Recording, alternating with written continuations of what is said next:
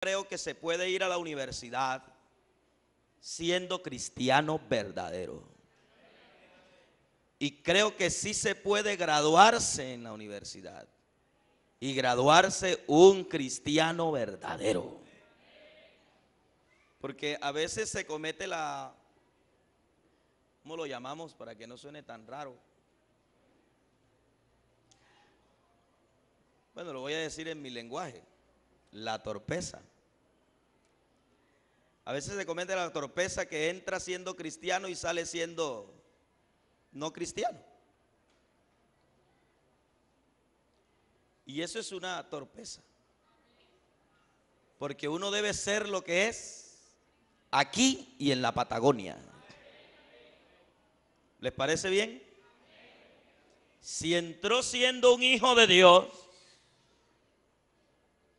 a la secundaria, si entró siendo un hijo de Dios, debe graduarse siendo un hijo de Dios.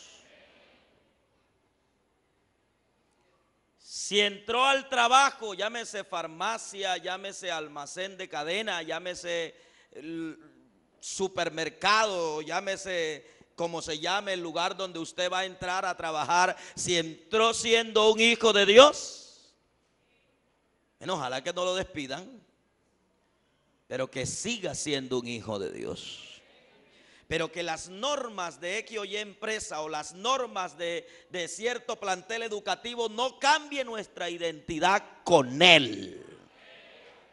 Alabado sea Cristo, hermanos. Que siempre nosotros podamos ser, como dijo el profeta, luz en medio de las tinieblas. Que podamos ser esa persona digna de imitar que el perdido le diga, ¿y por qué usted hace eso? Y usted le diga, porque yo amo a Cristo. Que cuando te digan, ¿y por qué vistes así? Tú digas, porque yo amo a Cristo. Sin sentir, sin ninguna vergüenza. ¿Verdad? Alabado sea el Señor. Es importante. Es importante. ¿Sí me, están, ¿Sí me hago entender? Es importante. Porque una vez un joven me preguntaba, me decía, hermano, yo quiero ser pastor. Yo quiero ser pastor. Y yo le dije, ¿y tú qué estás haciendo para ser pastor? Y él me dijo, no hermano, pues yo ya me gradué en el instituto y ahora estoy estudiando teología y, no, ya, eh, estoy, yo quiero ser pastor.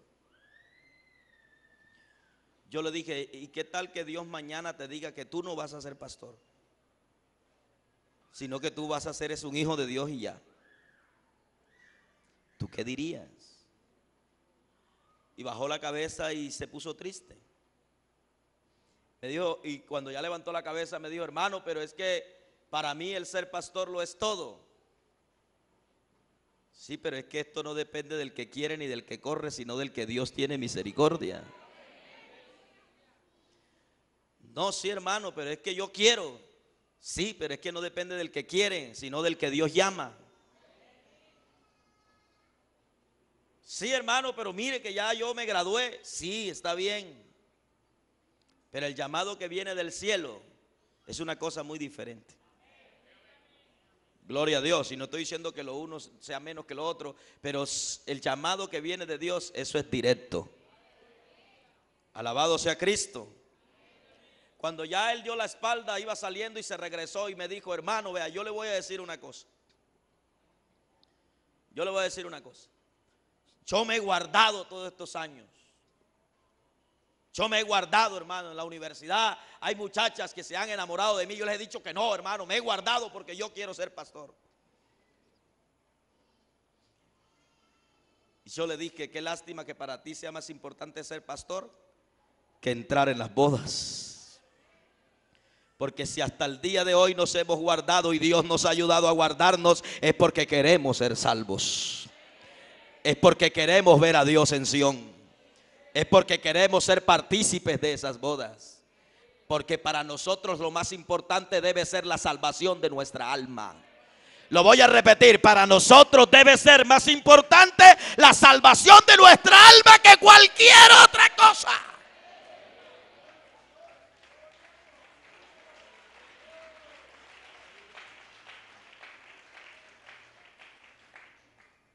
Dice la Biblia, primero el reino de Dios. Y si en lo poco me has sido fiel, en el coro te pondré.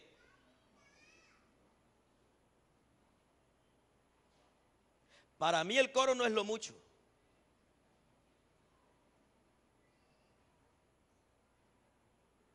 Yo no sé para usted. Pero si en lo poco me eres fiel, te voy a colocar en el comité de alabanza. Entonces el comité de alabanza es lo mucho.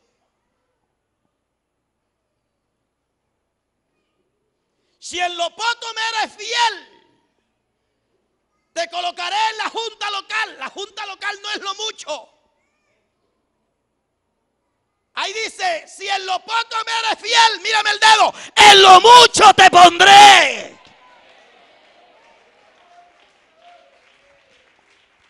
Porque eso tiene que ser un honor enorme, uno pasearse allá en las bodas.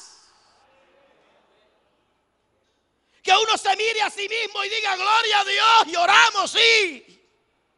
Sufrimos, sí. Nos atropellaron, sí. Lo menospreciaron, sí. Le dijimos no al pecado, sí. Pero aquí estamos en victoria, en las bodas del Cordero. Eso es lo mucho para mí. Hay que ubicarse qué es lo mucho para usted.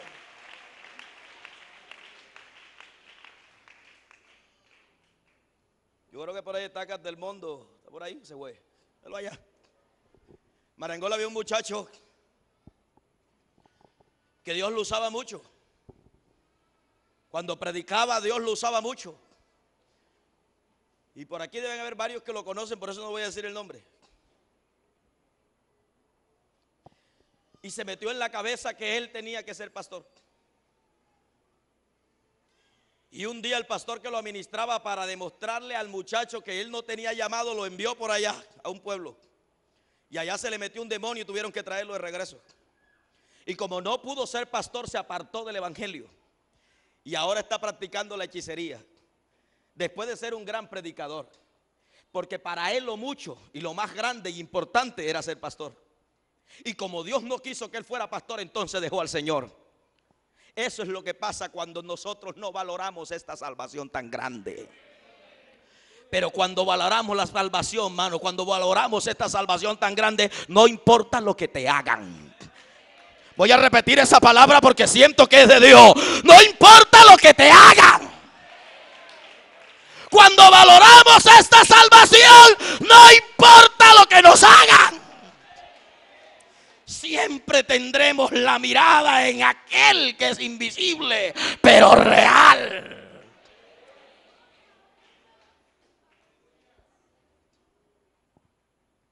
Esto no es lo mucho, lo mucho viene después. Otro hermano de él también quería ser pastor. ¿Ya sabe de quién estoy hablando? Ah, ya está diciendo que sí con la cabeza. Y lo enviaron a un lugar y cada vez que lo enviaban se enfermaba y Dios tenía que traerlo de regreso. Y cuando ya vio que no pudo, entonces se apartó también. Ojalá que nos falte el aire, que nos falte todo, pero que no nos falte Él en nuestra vida. Con que me tenga un lugar allá en esa silla, yo estoy feliz con que Él nos tenga un lugar y desde los cielos esté señalando y diga, no importa lo que te hagan, tú eres mi siervo amado en el cual tengo complacencia. No importa si no eres un gran predicador, no importa si no cantas mucho como cantan estos, no importa, no importa, pero con que tu nombre permanezca escrito en el libro de la vida, date por bien servido. Oh, aleluya. No hay cosa más grande que esta.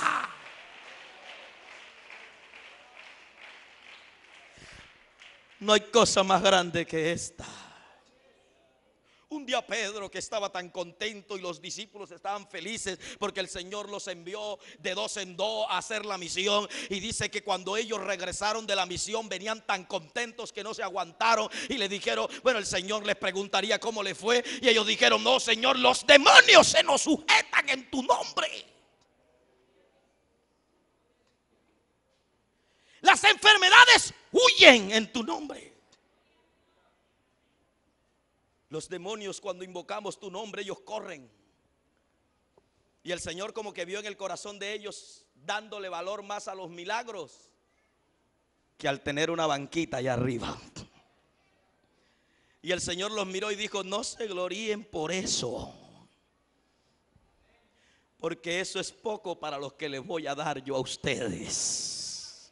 Yo vi descender a Satanás como un rayo del cielo. Así que no se gloríen por eso. Más bien orad y velad, procurad que vuestros nombres permanezcan escritos en el libro de la vida. Es bueno querer servir.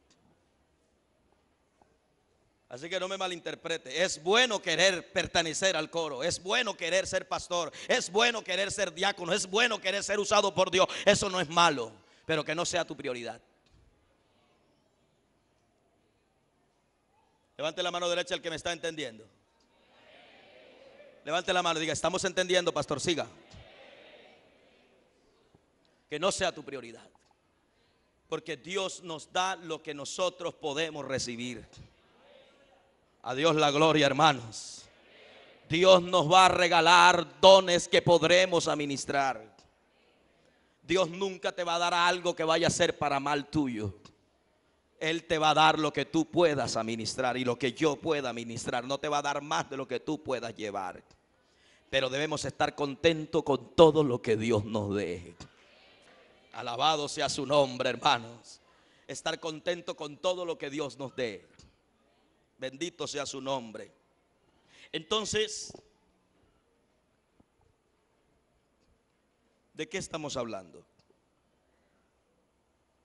Póngale un título a esto. ¿De qué estamos hablando? Yo quiero que salgamos de este culto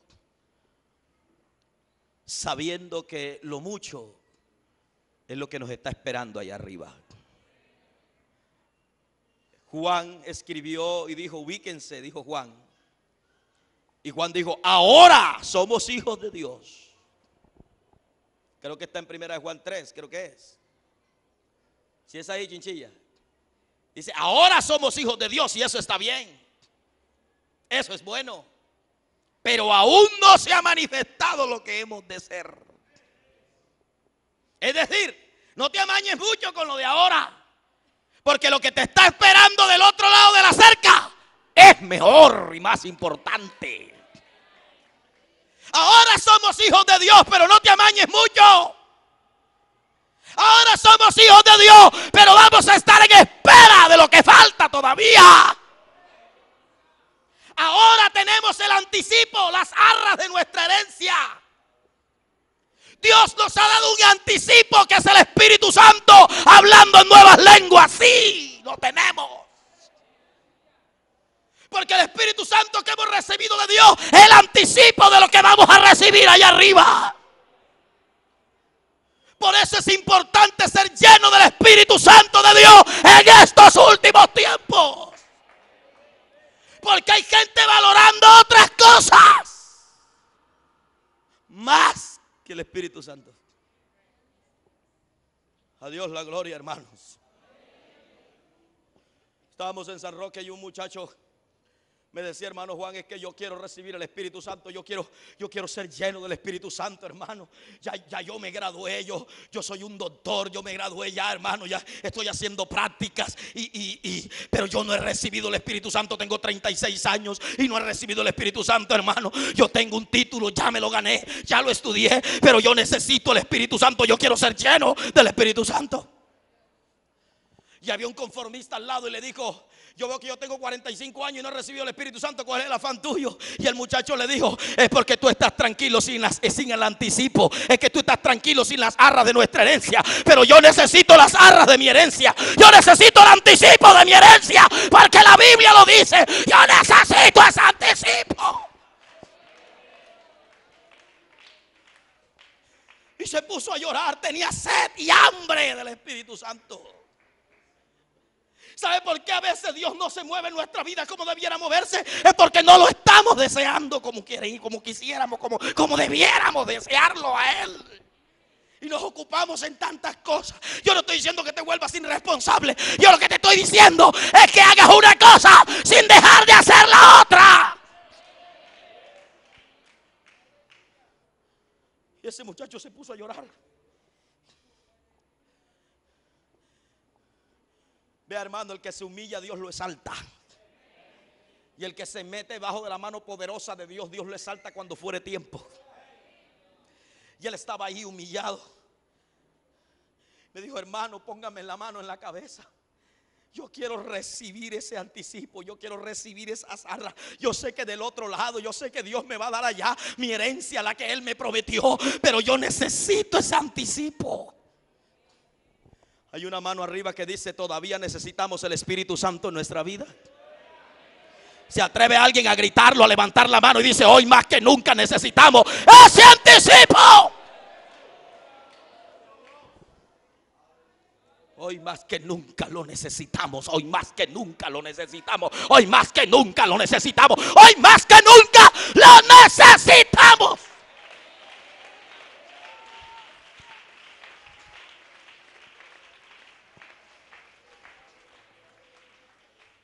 Ahora somos hijos de Dios, pero no se ha manifestado lo que hemos de ser. Ha de manifestarse porque seremos semejantes a Él porque le veremos tal cual como Él es. Pero mientras estemos aquí, lo que requiere diligencia, no perezosos. Y ahí se tiró.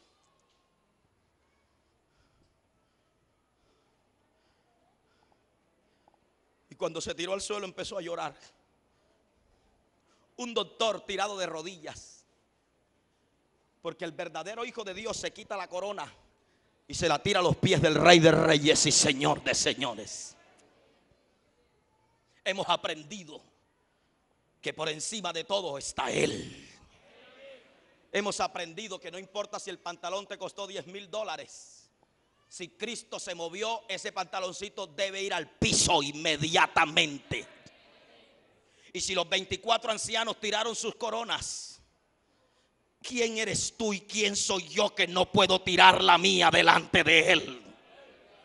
Cuando yo vi ese muchacho tirado de rodillas, ese doctor tirado de rodillas, yo le dije en el oído, hermano, su corona está tirada a los pies de Jesucristo. Y esa corona vale, esa corona vale. Porque tus padres te dieron dinero para que estudiara. Esa corona vale. Te quemaste las pestañas estudiando. Esa corona vale. Pero ahora vale más que la estás tirando a los pies del Rey de Reyes Señor Señores. Y cuando yo esa palabra pegó un salto y empezó a hablar en lengua el Espíritu Santo le daba que hablase, es que el que se humilla, Dios lo exalta. Onda mía.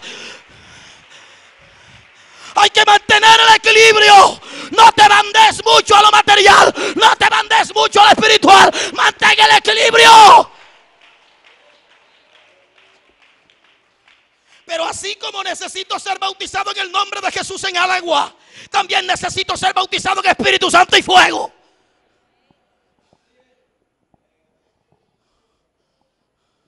Está bien, el pastor me bautizó en agua, pero yo necesito que el pastor de los pastores me bautice con el Espíritu Santo.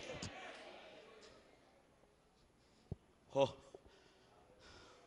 Hola, Ishaeb, Elamdan. Elén Ishaela. Me dieron una mención de honor en la escuela. Sí, está bien. Pero recibiste el Espíritu Santo cuando creíste.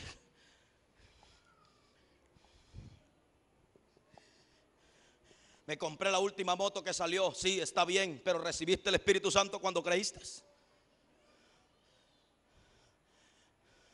Me saqué el Mazda 3 2013.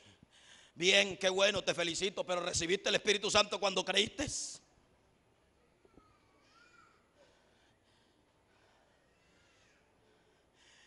Dios no puede darle a unos y a otros no. Él dijo, derramaré de mi espíritu sobre mis siervas y sobre mis siervos. Hay una mano levantada que dice, yo soy siervo. ¿Alguien se considera siervo aquí? ¿Alguien el Espíritu Santo lo, lo redarguye y le dice, tú eres siervo? Los que se consideran siervos batan su mano que yo le voy a mandar la palabra. Sobre mis siervos y sobre mis siervas. Derramaré de mi espíritu en aquellos días.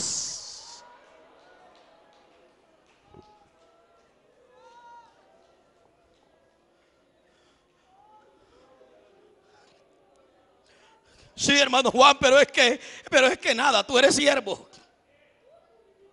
Sí, hermano Juan, pero es que, es que nada, tú eres sierva. Recíbelo. Es para ti. ¿Para quién es? Para los siervos, para los hijos. Tú dices que yo soy un hijo de Dios. Bueno, recíbelo que es para los hijos. Alabanza a Cristo. Entonces es importante que nosotros tengamos ese anticipo aquí, vea. ¿Cuándo queda un negocio seguro? ¿Ah? Iba a vender un automóvil y un hermano me dijo, hermano, vea, a mí me pagan el 15.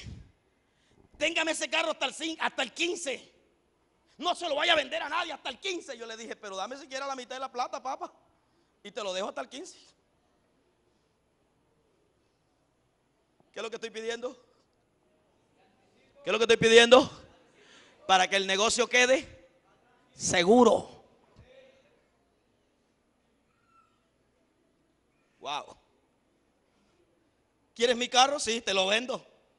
Espérame hasta el 15, dame el anticipo. Es decir, dame las arras. Y estamos agarrados. Se fue y dio vuelta, yo no sé qué hizo y se apareció con el anticipo y me trajo, creo que fueron 3 millones, no me acuerdo. Y me los dio y me dijo, ah, yo le dije, ahora sí estamos pisados y como te eches para atrás pierde los 3 millones.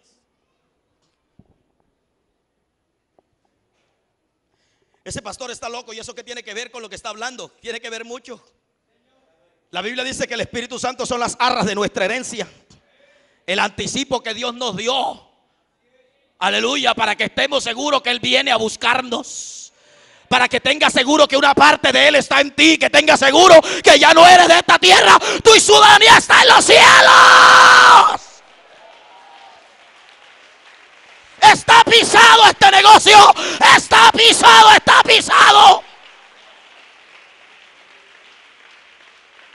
Por eso no andamos a tientas. Por eso no andamos golpeando el viento. Estamos seguros que Él viene a buscarse a sí mismo.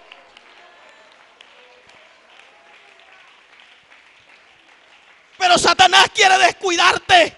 Satanás quiere que tu mirada se vaya a otro lado. Satanás quiere que pongas tus ojos en el inconverso. Satanás quiere que pongas tus ojos en la inconversa. Satanás quiere que te enredes en los negocios de la vida. Pero no, no, no, no, no. Vaya a negociar, pero no quite la mirada del Señor Jesús. Cásese, pero cásese con uno de su misma fe. Enamórese, enamórese, que aquí hay bastantes muchachas. Y cásese. Pero no tienes nada que ir a buscar allá afuera, Egipto. No tienes nada que ir a enredarte allá por bonito que sea. Ay, hermano, pero es que habla lindo. Hermana, ¿y usted qué? ¿Usted qué hacía en esa? ¿Y usted qué hacía allí en esa heladería con ese muchacho? Ay, hermano, él no es evangélico, pero usted viene, parece que fuera, o sea. Y cuando yo le hablo de Dios, él me dice que, que nunca le habían hablado como yo le hablo. O sea, yo me lo voy a ganar.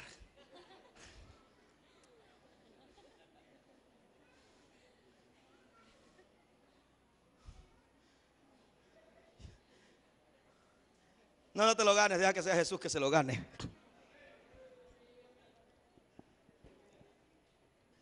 Hermano, ¿y usted qué hace chateando con esa muchacha? ¿Usted no es casado? Sí, hermano, me parece que ella es mi amiga. Amiga ratón del queso.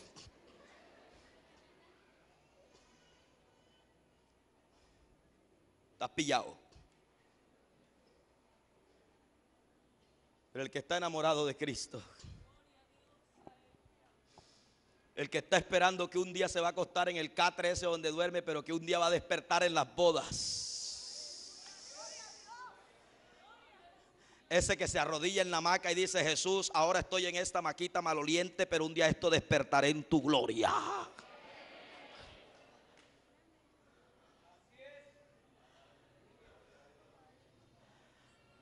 ¿Ah? Que la hermanita le diga al inconverso, mírame bien. Y el inconverso diga, estás muy linda. Y diga, mírame de costado. Y él diga, estás linda de costado. Míreme de espalda, estás linda de espalda. Y cuando ya la mire que está linda, dígale, de esta mazorca, ni un grano. Porque estamos esperando cosas mayores que estas. Uh, porque estamos esperando cosas mayores. Es más, estamos esperando un culto mejor que este. Porque en aquel culto lo haremos viéndolo.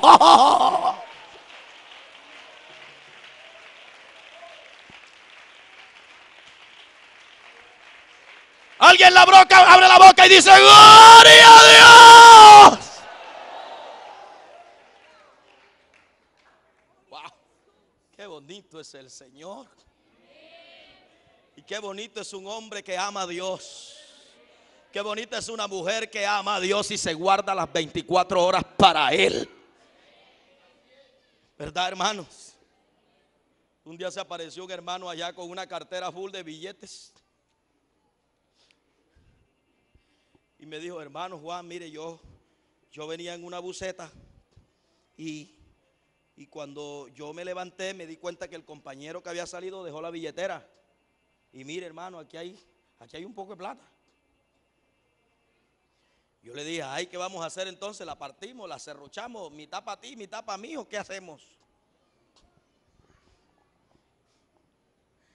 Pero aquel hombre dijo, Hermano, ¿y qué tal que ese señor haya vendido por ahí una lechona, haya vendido una vaca? Y esa platica sea para matricular a los niños en la universidad y nosotros no la gastemos. ¿Por qué no buscamos mejor en la cartera a ver si hay un número de teléfono y lo llamamos y le entregamos su platica, hermano? Eso es lo que yo llamo un tapaboca pentecostal. ¡Tas!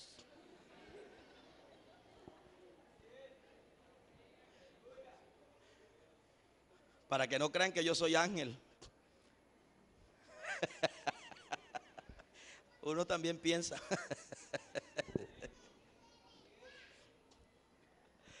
¿Verdad, hermano? Pero que eso no estorbe tu cercanía al Señor. Que nada haga tropezar tu fe en el Señor. Que nada te haga retroceder, nada, absolutamente nada buscamos, hermano, y sí, había un número de teléfono, llamamos. Sí, buenos días, Dios le bendiga, Señor, ¿usted quién es? No, yo me llamo fulano. Vea, Señor fulano, su número de cédula es tal, tal, tal, tal. Y dijo, ese es mi número de cédula. Usted nació el mes tal del año tal. Sí, Señor, ese es. Su segundo nombre es tal. Sí, Señor. ¿Usted cuánto tenía de plata en esa cartera? Dijo, pues yo tenía tanto.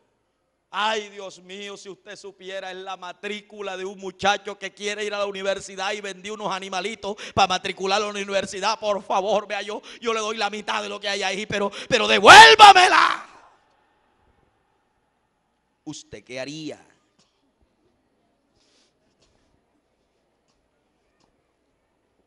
Pues, qué bendición, hermano. Gloria a Dios. Lo que pensé yo inmediatamente. Yo dije, estoy debiendo una platica por allá. Uno piensa, ¿no? Pero cuando ese hombre empezó a llorar en ese teléfono, yo dije, yo miré al hermano y, el hermano me decía, ajá, sí señor. Claro, es que se encontró la cartera, decía, pásamelo a mí. Y entonces, ¿cómo hacemos? No, mire, yo, yo, yo, vivo en, yo vivo en tal parte. ¿Será que usted me la pueden llevar? Y no, manito, y no estamos por acá en el rabo de la perra. Yo le doy un número de cuenta para que me la consigne. Yo no, tampoco. ¿Y cómo te vas a consignar la cartera y los papeles? Te la mandamos por efecti. Aquí está el número de cédula, anda a recibirla. ¿A dónde es? No, la ciudad tal. Fuimos allá. Mandamos la platica. Cuando ya recibió la platica me llamó.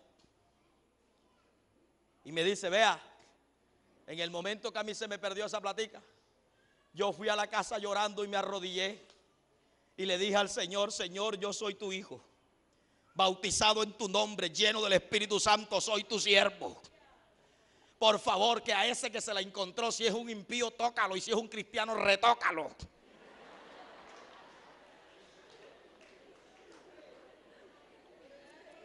Sea que el hermanito de la cartera venía retocado. Y le dijo, vea, me decía por teléfono, oiga, le voy a decir que Cristo lo ama. Sí, Señor. Cristo lo quiere salvar. Sí, Señor. Que el amor al dinero es la raíz de todos los males. Sí, Señor. Vea, hay una herencia maravillosa en los cielos, la cual vale más que toda plata y que toda oro. Sí, Señor. Vea que de qué le sirve al hombre si se gana el mundo entero para él y que su alma se pierda. ¿De qué le sirve? Yo, sí, Señor, sí, Señor, sí, Señor. Y se atrevió a decirme, se va a entregar.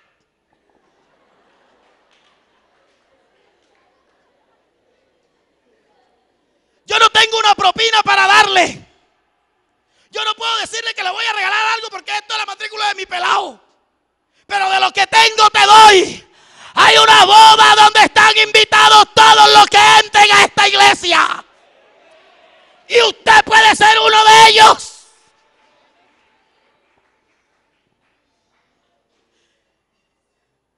Yo le dije, amén, gloria a Dios. Y me dijo, usted evangélico, ¿verdad? Lo que les quiero decir es esto.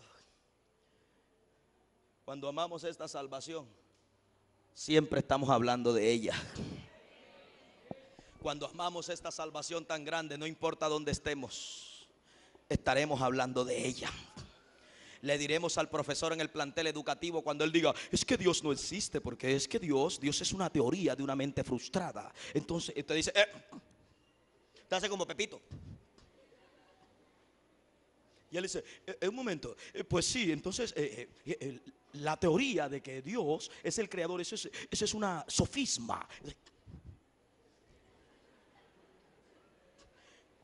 Espérate, espérate, espérate, Pepito. Eh, porque la ley de la razón nos dice que lo que existe es lo que podemos tocar y ver. Pastor, usted se salió del tema. No, no me ha salido del tema, aguántate. Cuando ya al fin el filósofo ese ateo te diga, bueno, Pepito, que diga, le voy a decir una cosa, eh, señor. ¿Usted alguna vez eh, ha visto el color del viento? O como es filosofía. ¿Cómo? Eh, eh, dígame de qué color es el viento. ¿Es azul, verde o rojo? No, el viento no tiene color. ¿Y por eso no existe? La siguiente. La siguiente es, ¿de qué color es el dolor?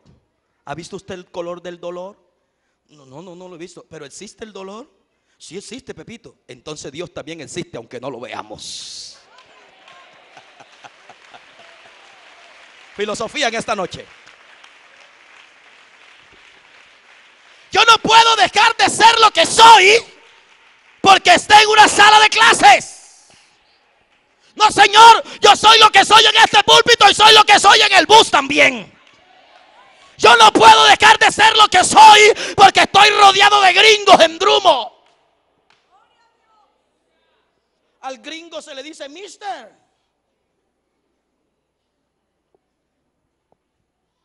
¿Tú conoces a Dios? No entiendo. Dios, Dios, Dios.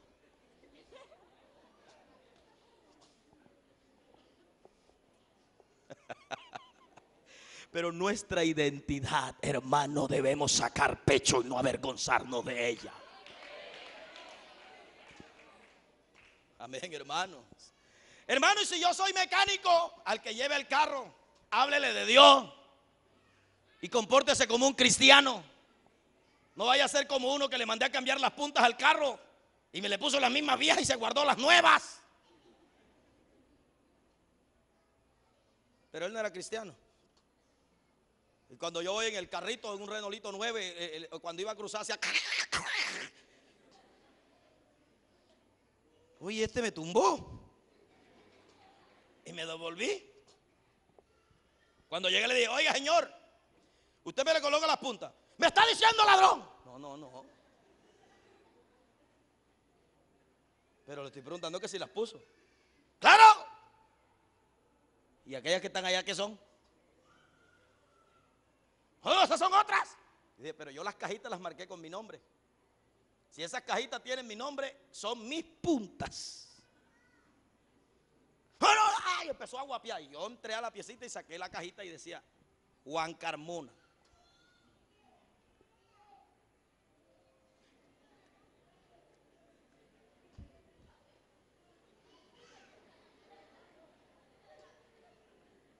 Yo no sé cómo se llama una varilla de hierro así que le sacan a los carros. Una que tienen una rosca en la punta. ¿Hay un mecánico aquí? Una varilla así larga. Al lado de las puntas había una varilla larga. Y yo le miraba la cara y miraba la varilla.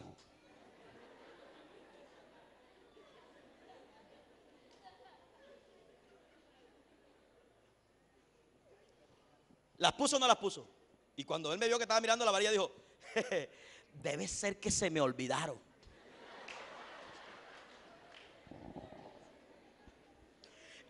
¿Qué les estoy hablando? Debemos seguir siendo lo que somos a pesar de que nos tumban. Déjese tumbar como cristiano. Pero de que le dan ganas de agarrar la varilla, le dan ganas. Pero tenemos algo mayor allá arriba que un par de puntas. Lo voy a repetir, tenemos algo mayor allá arriba que un par de puntas que no valen 100 mil pesos. Pero de que dan ganas de ponerle la varilla, dan ganas.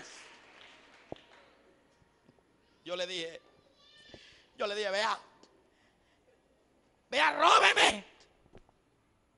Y se me salieron las lágrimas, qué vergüenza. Tipo como yo, bien presentado, con lágrimas en un taller. Se me salieron las lágrimas. Yo no quería llorar. Pero se me salieron las lágrimas porque pensé ponerle la varilla. Y sentí vergüenza con Dios. Yo dije, Señor, ¿qué tal que usted venga ahora? Y yo me quede porque estoy que le pongo la varilla. Y me dijo, Señor, ¿por qué llora? Yo dije, por nada, hombre. Y se me fue atrás yo le pongo ese punto, espera un momentico pero no llore. Y me fui al rincón, hermano Jaide, me puse a llorar. Y yo lloraba. Me tocaba predicar ese día. Cuando ya el Señor puso las puntas, me dijo, ay manito, perdóneme. Son cosas de la vida.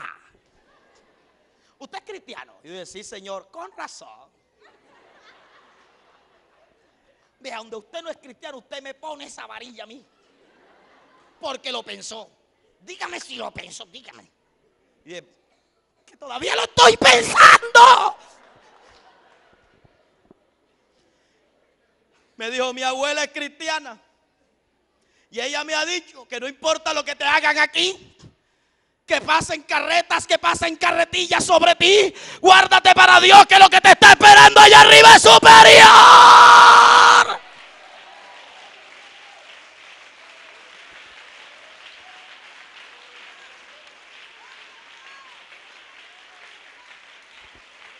No permitas que nada.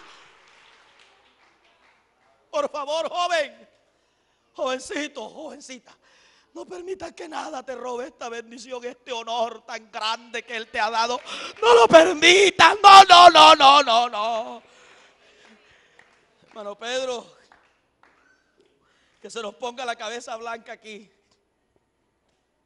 Que ustedes hoy me vean derechito, pero que mañana después de 50 años me vean así. Y usted diga, ese es el hermano Juan. Si es el hermano Juan, Dios le bendiga. ¿Qué le pasó? Envejecí. Pero joven fui y envejecido. Y no he visto justo desamparado, ni su descendencia que mendigue pan.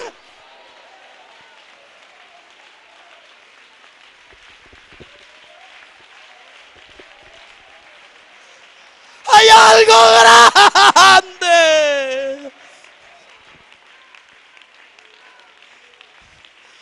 Uh, hay algo grande. Ponte de pie.